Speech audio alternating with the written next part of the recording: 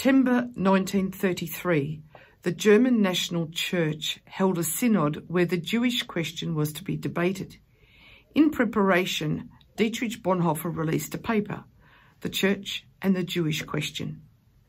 If the church in Australia, the UK, Europe or United States were to hold such a church council on the Jewish question in the wake of October 7th, I wonder who would attend and what would be said. In Bonhoeffer Part 1, I considered the post-World War I perfect storm in church and society that enabled the Nazis to come to power in Germany. In Part 2, we considered the faith of Bonhoeffer and why most of the German church embraced Hitler rather than resisting him on the basis of Scripture. As Bonhoeffer became a true disciple of Jesus rather than a cultural Christian, and as he read the Scriptures, he discovered how God viewed the Jews and shockingly was quite opposite to the anti-Semitic attitudes in most of German society. So today in part three, the Jewish question. This was an issue for Germany in World War II, but all countries around the globe. Because as Germany began expelling and exterminating the Jews, nations were forced to decide what to do with them. Would they let the Jews into their countries or turn them away? And today the Jewish question is again on the lips of all nations. News story after news story, Israel is the subject. What did Bonhoeffer discover as he read his Bible that helped form his conviction about the Jews that he was willing to risk his life about? And what do we need to learn and step into if we are to prevent another Holocaust? Jesus and Paul both made explicit statements about the Jews. And of course, the Old Testament is the history of Israel. Matthew chapter 1 records the genealogy of Jesus. Matthew 1 1 says, The book of the genealogy of Jesus Christ, the son of David, the son of Abraham. Luke 2 verse 5, Joseph and Mary went to Bethlehem for the census because it was their hometown. They were both direct descendants of King David. Jesus was clearly Jewish. His family went way back to Abraham. And at his birth and his death, it was declared about Jesus, King of the Jews. In John 4:22, Jesus had a historic conversation with the woman at the well. In discussing the place where they should worship, Jesus said, salvation is from the Jews. In Matthew 10, Jesus sent out disciples with specific instructions to only go to the house of Israel, not to the Gentiles, at least for that time. To understand how God sees the Jews today, we must properly understand the book of Romans and see uh, my series that I've done on Romans is vital. Romans 3 2 says God distinguished the Jews from all other people by entrusting them with the revelation of his prophetic promises.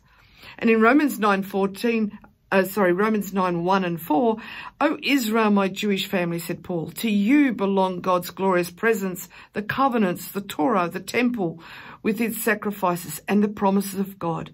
We trace our beginnings back to the patriarchs, and through their bloodline, is the genealogy of Messiah, who is God over everything. In Romans 11:15, Paul said the Jewish people being reconciled to God is key for revival to be released to the entire world, something we're still waiting for. No wonder the devil has targeted the family of Jesus, whose direct lineage and ancestry is Jewish. In Romans 11:25 to 29, it says a partial and temporary hardening to the gospel has come over Israel, which will last until the full number of Gentiles has come to God's family. And then God will bring all Israel to salvation. Their opposition has opened the door of the gospel to you who are not Jewish. Yet they are still greatly loved by God because their ancestors were divinely chosen to be his. So when the Jewish question arose in Germany, Bonhoeffer wrestled with God and these scriptures. Not only did Hitler murder six million Jews, but he spoke openly about trying to eradicate the Jewishness of Jesus and the potency of the blood of Jesus to redeem. Our beliefs and treatment of the Jews is indicative of how we really view Jesus and the gospel. Our ability to resist evil is inevitably linked to how we treat and treat the Jewish people. Karen Davis sings Israel, my beloved. The beautiful voice of Karen Davis singing Israel, my beloved, the Lord calling Israel to himself. Now, the problem for Bonhoeffer, read the German National Church Synod of September 1933, was that up to 80% of the attendees were brown shirts. Now, since October the 7th and the Palestinian protesters, many have likened them to the brown shirts. And the brown shirts were Hitler's bullies or stormtroopers, young people. And so to discuss the, the Jewish question with 80% of anti-Semites would be like you or I going to a Palestinian protest at a university today and giving them the scriptures about the Jewish people. It would take some soul searching and we'd need to weigh up our conviction and have our facts right ready and be ready for whatever. Now, Bonhoeffer's family were part of Berlin upper society. Dietrich's father was a prominent psychiatrist in Berlin. Many Jewish doctors, lawyers, thinkers, musicians and theologians were among their friends and family. Dietrich's own twin sister married a Jewish lawyer who later became a Lutheran pastor. And as German society changed its attitude towards the Jews, the Jewish question became very personal to Bonhoeffer. And it became an issue of division in the church. Dietrich needed a biblical response for churchmen and the brown shirts. As we consider the gradual decline in Germany, we need to see what drove Bonhoeffer to write, to speak and make the choices he did. Nazi Germany began with wrong beliefs about Jesus and his Jewish family. There was actually a decade of lies, and this is important for us to see what's happening in our society. Germany began with the wrong beliefs. In a 1922 speech, Hitler called Jesus, quote, our greatest Aryan hero, end quote. He presented a false Jesus who was not Jewish, but rather a blue-eyed, blonde-haired European. Today, anti-Jewish sentiment paints Jesus as an Arab or a Palestinian. Bethlehem proudly claims that the city is a birthplace of Jesus, mainly to get the tourist dollars, uh, they claim him as a Palestinian. Yet Matthew 1 and Luke 2 seemingly has been forgotten or taken out of their Bibles. Paul warned the Galatian church in first chapter, if another gospel is preached, it would bring a curse or cause such a preacher, even an angel, to be excommunicated. Many agreed with Hitler's statement, not only eradicating the Jewishness of Jesus, but also believed Jesus was a cruel anti-Semite himself. So it was no stretch for these so-called Christians to call Jews Christ killers and brutalize them in inverted commas, the name of Christ. I will come back to their anti-Semitic beliefs in a moment because sadly these libels continue today. Many Jews were tortured and killed by those who said they were, inverted commas, Christians and has severely affected Jewish attitudes towards Christians today. And it's been one of the big tasks that we've been involved in for, and others praying for is Jews today, that we've had to be in this space of repentance and reconciliation for these very wrong beliefs. Anti-Jewish sentiment grew and festered for a whole decade before it erupted into Nazi Germany persecution. A decade after Hitler's speech in 1922, in 1932, Hitler gave a personal assurance to important church leaders. Number one, he said he would keep his hands off the church. And number two, there would be no pogroms against the Jews. Martin Niemöller was a decorated U-boat captain from World War One. At first, he thought the Nazis would restore German dignity, restore moral order, and chase the communists from the country. After Hitler gave assurance that both the church and the Jews would be kept safe, he thought the Nazis could be the answer to prayer to bring national religious revival. But when he realised these were all lies, he teamed up with Bonhoeffer to resist the Nazis. In 1933, Hitler praised churches, more as a deceit, as the bastions of morality and traditional values. But he actually wanted to use the churches for Nazi ideology, to placate them at first and then change the direction once they were on board. In public, he sounded pro-church or pro-Christian to gain public support. But in private, he was against Christianity and Christians. Many pastors thought Hitler was on their side and thus happy to work with him, even though he spoke about the doctrine of redemption as, quote, old-fashioned mystical, out-of-date nonsense, and that sin and grace were weak Jewish attitudes. March of 1933, the basic rights anchored in the Constitution were suspended. Hitler's regime could now pass any laws because there were no parliamentary controls over him, especially against political adversaries. I wonder if the West faces any threat to democracy today. We need to beware. On April the 1st of 1933, interesting it was April Fool's Day, Jews were seen as enemies of the Aryan race. The boycott of Jewish shops and businesses began. Jewish shops, law firms and doctors' offices had signs put outside of them which said, Germans, defend yourselves, don't buy from Jews. And the brown shirts threatened any potential customers and clients with violence if they went into these businesses. On April the 7th, 1933, the Aryan paragraph came into law. April the 7th, Jews were barred from holding civil service, university and state positions, which flowed on to other uh, positions later on. May the 10th, the public burning of books. July the 14th, East European Jewish immigrants were stripped of German citizenship. Many Jews believed the Reich would soon collapse, but it got worse. And it was at this stage the church met to discuss the Jewish question. This was the beginning of the persecution of German Jews. Remember, it only took a decade of wrong thinking. 1922, 1922, the year my mum was born, Hitler was making statements that Jesus was not Jewish. A decade later, in 1933, the Aryan paragraph became law. Wrong thinking is too easy consistent libel lies, which I'll go into these in a moment. But it's a challenge to us in our society. How did this happen? How did this wrong, easy thinking happen? Well, Goebbels was in charge of Nazi propaganda unit to manipulate and deceive the German people. He believed if they told a lie often enough, the people will think it's truth. And today we have propaganda accusing conservative voices. Bible believers or those wanting freedoms, or they're anti-Semitic, or they're Nazis. Lying spirits are everywhere to deceive. Jesus warned us it was an end time issue. And we need to make sure we've got the armour of God on, the helmet of salvation, the belt of truth and so forth. In 2021, 60 Minutes did a documentary on the rise of Jew-hating Nazis in Victoria. The federal police have them on their radar but they increasingly show up at protests.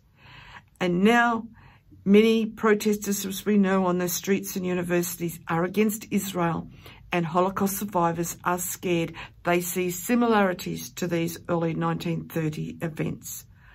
None of our laws have really changed yet, thankfully, but there's pressure on them. And I have met, as I've said before, Jewish people in Melbourne who've had their businesses attacked and jobs lost since October the 7th. Jewish students and lecturers have been prevented from going to classes, and many Jewish students in Australia are threatened if wearing their symbols or school clothes and extra security has needed. Are we in a dangerous position? We're going to listen to the Habrit, which is the covenant of God, to remind us how important that is, and then Marty Goetz singing for Zion's sake. Before we go back to the timeline in Germany, let's consider the ideology that drove these changes. In 1 John 4, verses 2 to 3, it says, The test for the spirit of the Antichrist is whoever denies Jesus is the Messiah, that he is the Son of God come in the flesh. In the mosque on the Temple Mount, there's a sign saying, God has no son. So if you want to know what's really going on, go to 1 John chapter 4 to see what the qualifications are. Many false statements have been made against the Jews over millennia, and they've been what has caused a lot of trouble. And sadly, we're seeing it again today. Sometimes they're called blood libels or variations. They're against the word, they're anti-Semitic, and they're the basis of replacement theology. Again, I point you to the complete program I did on that, which is on our YouTube channel. But these are all the arguments used in Nazi Germany to suggest to put in the Aryan paragraph. So Bonhoeffer dug into scripture, and I pray these things I share make you dig into scripture too. So also I need to say Israel and the Jewish people are like us. Many make mistakes and sin against God and others. But the word of God says he does return them to their land. He will cleanse their hearts and he is doing that work right now. But God chose them as his people. There are prophetic promises and we owe them a debt because they gave us our Messiah and our scriptures. So the first libel is what's called deicide. In other words, to kill God. Jews are often called Christ killers. The basis is this. They rejected and crucified Jesus. The statement at the crucifixion, his blood be on our head, is often quoted. And they are often targeted for murder because they are considered to be Christ killers. Replacement theology says they rejected Jesus, Therefore, they are cursed. The Gentile church replaces them. Therefore, everything Jewish should be removed from Christianity. That's the very simple version. Blood libels. Well, these statements say that Jews have murdered non-Jews, such as Christian children, in order to use their blood in rituals, especially to make matzah for Passover. This was actually printed as front page newspapers in Nazi Germany. Now, the truth is that in the food laws in the book of Leviticus, followed by the Jews, all blood must be drained from meat. No blood is to be eaten. And if you buy uh, meat in Israel, it's very pale because there's absolutely no blood. We have more in ours. And these false accusations have been since medieval times and often the basis for murdering Jews. The next one is called the dirty slash filthy Jews a long list of Jewish stereotypes to cast Jews as unworthy, unclean and greedy.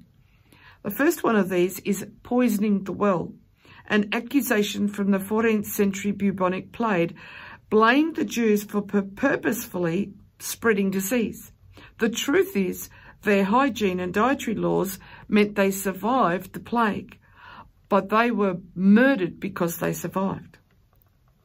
Then the second accusation of greed includes being excessively money-orientated, exploiting others for personal gain, being overly wealthy, and controlling the world's finances. Despite today, many Jews in Israel are actually poor. A 2003 TV series broadcast in Syria and Lebanon based on the protocols of the elders of Zion accuses the Jewish people in a conspiracy to rule the world and many Christians still believe that today. Then we go on, there's twisted New Testament scriptures to suit the anti-Jewish rhetoric. For example, in John 8, 44, when Jesus addressed the Pharisees, he said, you are of your father, the devil. Therefore, people say all Jews are of the devil. Then there's the thing that the New Testament should be revised to remove emphasis of the crucified Christ. The Nazis mocked Paul because sin and grace were Jewish attitudes, weak and un-German even though the Reformation was based on grace. And then there's the issue of remove the Old Testament. It's a cunning Jewish conspiracy. Today we hear it's a lesser authority. And Jewish uh, church music, remove all Israeli elements or references. Hebrew words like hallelujah, Hosanna or Jerusalem should be removed from church music. I was actually once told by a pastor that I could not have any songs that had Hebrew words in it. So you can see that these sorts of things continue today. The next libel is that they're colonists. colonists. One of the slogans commonly used against Israel is that they're a settler colonial enterprise who stole Arab land. Now, these arguments are used in the conflicts right now today. Biblical history shows the Jewish people were given the land by God 3,000 years ago, and they are indigenous to the land. Psalm 83 identifies all Israel's neighbours would turn on her and say, and I quote verse 4, Our enemies keep saying, now is the time to wipe Israel off the map. We'll destroy even the memory of her existence. Her name shall be remembered no more. My goodness, that could have been written today as we hear chants in our streets from the river to the sea, because that's basically what that means. But Israel rejecting Jesus was for our benefit. Please listen to my series on Romans to understand that. Romans 11, 11 says, So I am saying that Israel stumbled so badly they will never get back up, says, asked Paul. Certainly not. Rather, it was because of their stumble, salvation now extends to all non-Jewish people in order to make Israel jealous and desire the very things that God has freely given them. We Christians need to be grateful for the Jews, thankful God chose to graft us into the vine. Realize the privilege that our walk with God, when it's fervent and righteous, makes the Jews jealous to return back to their faith in God, return to the Father. Our job is to make them jealous and to pray for them, not to kill, to kill them. Paul Wilbur sings, pray for the peace of Jerusalem. Paul Wilbur singing Pray for the peace of Jerusalem and praying that the Jewish people would turn and worship Adonai again, that they would declare that Messiah has come. So in 1933, although it was still five years before Kristallnacht and six years before World War II, pressure was on the church. The Jews had become the scapegoat of the nation and the church faced a dilemma. They were required, asked to enforce the Aryan paragraph. That was to really exclude the Jews from all of society. The church was in turmoil. Some felt they should make peace with the Nazis, even though Hitler wanted the church to be under him. Some thought the opportunities for evangelism would increase. And some suggested the Jews who were baptized as Christians could form their own church distinct from the German church. The lines between church and state became blurred. And at the conference of 1933, Bonhoeffer declared it was the duty of the church to stand up for the church, for the Jews. He had many Jewish friends and relatives and had been re-examining what scripture said about the Jews. He was convinced a church not willing to stand up for the Jews was not the real church of Jesus. Bonhoeffer said, and I quote, What is at stake is by no means whether our German members of congregations can still tolerate church fellowship with the Jews. It is rather the task of Christians preaching to say, here is the church, where Jew and German stand together under the word of God. Here is the proof of whether a church is still the church or not. The Lord had spoken to Bonhoeffer through many scriptures, including Galatians 3, 26 to 29. All are sons of God through faith in Christ Jesus. There is neither Jew nor Greek. There is neither slave nor free, male or female, for you are all one in Christ Jesus. Bonhoeffer was not only asking what is the church's response to the Jewish question, but he was also asking, what is the church? Can a church without Jews be the real church? He eventually concluded that the existence of Christianity all across Europe was at stake on this question. When the church fails to be the church, society pays the price, and that applies to us as well. It became law that every German pastor must take an oath of personal allegiance to Hitler, and they must enforce the Aryan paragraph and expel every church member of Jewish descent. This required three things. One, they had to cease publishing and disseminating the Bible. It had to be removed from their churches. Importance of knowing your scriptures now. Number two, Mein Kampf was to be the greatest document and the only document on the altar in churches. Now, in a recent program, I said that Mein Kampf uh, Hitler's document and vision was found recently in Gaza, but it was to be on the altar in churches. Number three, the Christian cross had to be removed and superseded by the swastika, which if you look into that is an occult symbol. So the result of the 1933 conference and the requirements of the Nazis, it ended in a split in the church. There were two Protestant churches. One was under state control and the confessing church, which the state did not recognise. In 1934, Bonhoeffer's group, the Confessing Church, released a declaration which stated their beliefs. They printed this declaration in the London Times, which announced to the world that a group of Christians in Germany declared independence from the Nazi church. They resisted the pressure for the church to be an instrument of Nazi propaganda and politics. Bonhoeffer's writings and lectures were important in articulating these views. They were especially active in protesting against euthanasia and the persecution of the Jews and holding the traditional view of Jesus and salvation. Increasingly, the confessing church was forced underground and by 1937, many of their clergy were arrested. Hitler's church party, called the official German Christians, gained control of the Evangelical Church of Germany.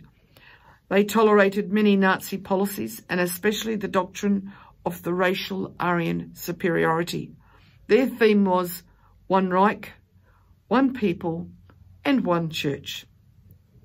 Ezekiel 34, the Lord addressed the false shepherds, how they had, destroyed Israel and, and us, of course, with false gods and rebelling against the Lord. But the Lord promised he would give Israel a shepherd like King David to care for them. In, in Ezekiel chapter 34, verse 28 to, 20, uh, to 30, it says, Foreign powers will no longer plunder them. They will live safe and secure. They will no longer have to endure the insults of other nations. So they will know that I, Yahweh, am with them as their God, and they, the people of Israel, will know that they are my people, declares the Lord, Yahweh. Karen Davis sings, The Word of the Lord.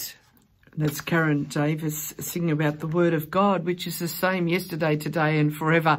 Hallelujah, because it's like reading the newspapers, isn't it? When we see the things that are taking place in, and it's there in the scriptures as I've been showing you. As we um, return to the timeline in Nazi Germany, Bonhoeffer knew that God had spoken to him about the Jews they were God's people. And what happened next fits with the warning in Psalm 74.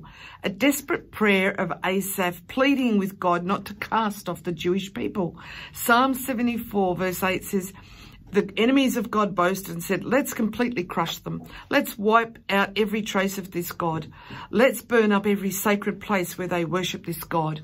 Or some translators say, burn all God's houses or the synagogues in the land all this was about to happen.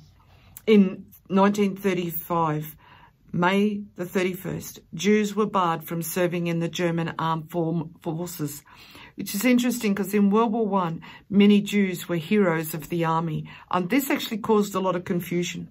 And then September the 15th, the Nuremberg laws came in. Jews no longer had citizenship. They were not allowed to fly the German flag and they were not allowed to marry Aryans and a Jew was defined as anyone with three Jewish grandparents. So that was wiping out three generations like Abraham, Isaac and Jacob. In 1936, Jewish doctors were barred from practicing medicine. And in 1938, mandatory registration of all property held by Jews. And then we come to November the 9th and 10th of, of uh, 1938, Kristallnacht, the night of broken glass, a key marker 200 synagogues were, were destroyed. 7,500 Jewish shops looted. 91 Jews were murdered. 30,000 male Jews were sent to concentration camps. A couple of days later, Jews had to transfer all businesses to Aryan hands. A few more days later, all Jewish children were expelled from German schools. And on December the 12th, can you believe this? Jews were fined for the destruction of property during Kristallnacht. Unbelievable. In 1939, concentration camps, Yellow Stars and World War II all began in earnest. In the Jerusalem Post of October 2023, the heinous crimes perpetrated on October the 7th, this was said, those crimes cannot be equated with any other event in world history. They have no parallel. As awful as Kristallnacht was, the mass murder and savagery that Hamas's marauding murderers perpetrated in Israel on October the 7th was worse. Now that's a sobering statement. If Kristallnacht was not as bad as October the 7th, where are we?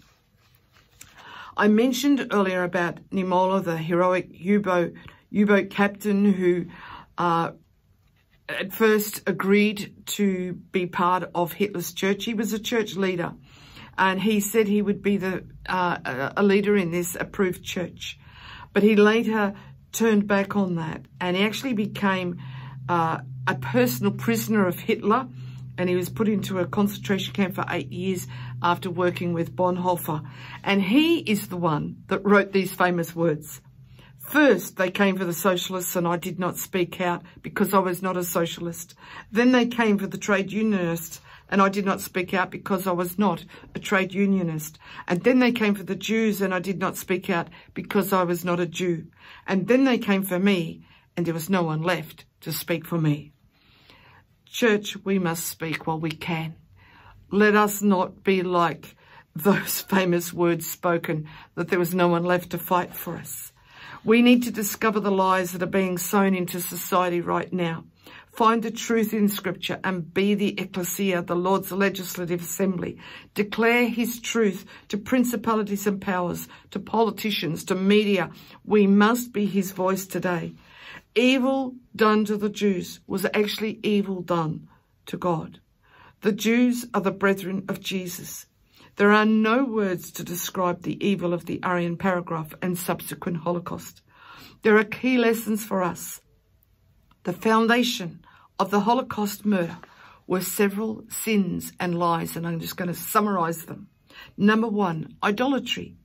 Germans, they believed, they were descendants of the Aryan gods in Wagner's opera themes, the German folklore, akin to Greek mythology, but heroes were German gods. The Aryan paragraph was built upon Aryan idolatry.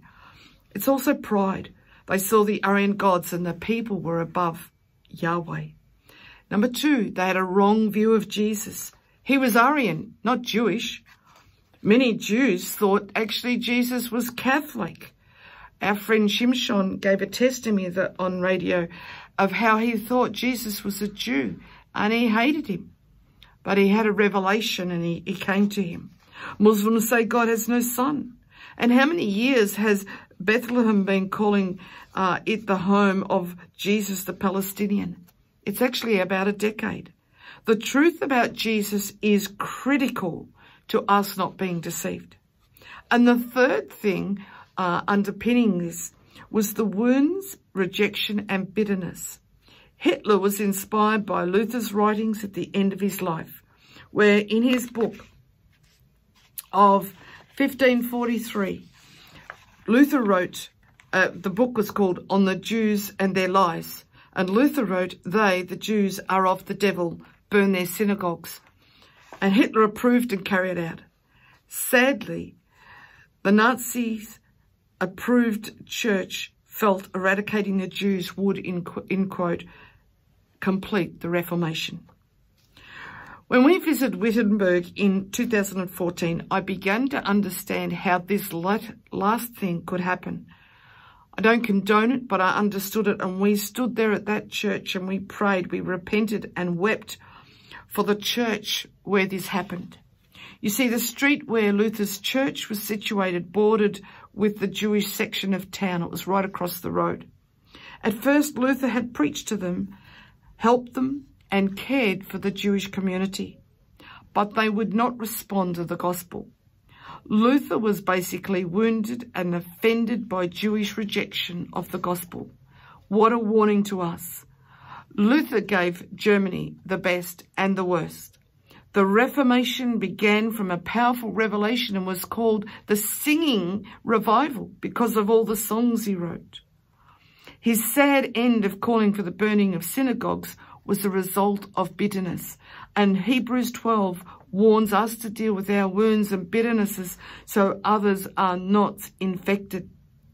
Sadly, Hitler and Nazi Germany was infected by Luther's bitterness and they murdered Jews in quote, in the name of Jesus. O Lord, forgive us for such sins. The Jewish people were not just removed by Nazi Germany. Also in the mid-20th century is what's called the Forgotten Exodus. 800,000 Jews were driven from their homes in Arab nations and Iran. Baghdad had the biggest Jewish population of 120,000 plus, and they were expelled from Iraq in 1951. Alexandria had some 25,000 Jews, Following the establishment of the State of Israel in 1948 and the Six-Day War, they were all expelled by Egypt's President, President Nasser. Anti-Semitism is deep and has given great trauma to them. Nations have pledged never again. But will we resist evil? History and scripture warn us not to get complacent and to be careful. Matthew 25, Jesus spoke of judging sheep and goat nations based on leaving him hungry, thirsty, poorly clothed, sick, or in prison. They asked him, when was he ever like that? And the king will answer and say to them, Assuredly I say to you, inasmuch as you did it to one of the least of these my brethren, you did it to me. Assuredly I say to you, inasmuch as you did it to these my brethren, you did it to me. Who are his brethren? He was pointing to his Jewish family. The nations will be judged by what they've done to Israel. The Lord's mercy exceeds his judgment for Israel and for us. That was the beautiful voice of Karen Davis singing Your Mercy. And his mercies endure forever. Bless his name. There's two issues I just want to quickly raise as we finish off today. First of all, racism was a result of the Aryan idolatry and pride. Jesus spoke in the end times that there would be wars between nations, but that word for nation is actually ethnicity. So the end of days is racial wars between ethnicities. All racism is evil and demonic.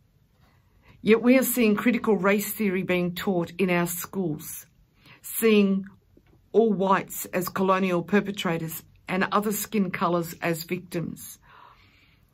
If you listen to the son of Hamas, he was born in Ham Ramallah. His dad helped to form Hamas. And he says the people that are called Palestinians are actually Arabs. And he calls it out. He said these people are sadly being used for political gain and they're exploiting the victim card. This is not the ways of the Lord. The truth is this. Every person on planet Earth is created in the image of God and equal in the sight of God. Pride and evil puts one above another. At the cross, Jesus dealt with all enmity. And in fact, in Ephesians 2, it talks about Jew and Gentiles, the enmity between them. And it says in Ephesians 2 verse 15, ethnic hatred has been dissolved by the crucifixion of his precious body on the cross. By the blood of Jesus, victims become victors, perpetrators are forgiven and transformed, and ethnicities become one. We must not use ethnicity as a basis for divide in the body of Christ. The second thing I need to just say quickly is that there is a spiritual pattern in Scripture that when Israel is faithful to God to worship Him only, they are blessed. But when they are unfaithful to Him and they worship other gods, they go into exile. And that's been a pat that's also a pattern for us. We are blessed as we obey God and worship Him. But if we follow other gods, there is um, it just doesn't go well for us. And there are curses that come. But scripture is very clear about the end times for Israel, that she would come back into her land. It would be God's grace to bring Israel, gather them, the exiles from all across the world and bring them back. And he says, for the sake of his holy name. And he says that in that process, he will remove all her idols. And I believe God's in this process right now. Ezekiel chapter 11, verses 17 to 19 to, and then 21 says, The Lord Yahweh says, I will gather you back, Israel, from the countries where you have been scattered, and I will give you the land of Israel.